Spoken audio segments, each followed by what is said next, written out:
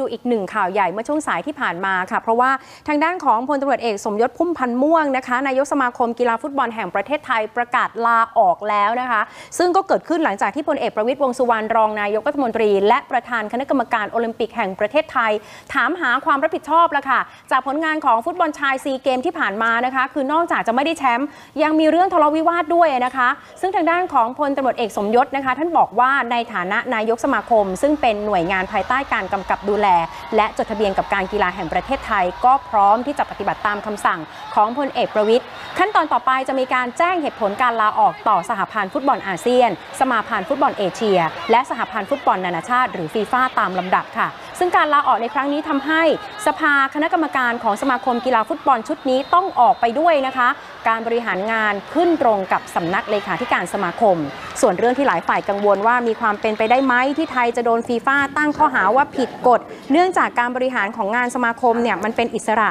ห้ามไม่ให้มีการแทรกแซงจากบุคคลที่ 3ทำให้ไทยอาจจะโดนแบนไม่ให้เข้าร่วม หรือจัดการแข่งขันฟุตบอลได้ และการพ้นโทษก็คาดว่าน่าจะต้องรอให้มีการเลือกตั้งนายกสมาคมคนใหม่เสร็จสิ้นซะก่อน โดยแมตช์ที่ใกล้ที่สุดก็คือฟุตบอลโลกรอบคัดเลือก ซึ่งอาจจะเสียโอกาสเข้าร่วมการแข่งขันได้ค่ะ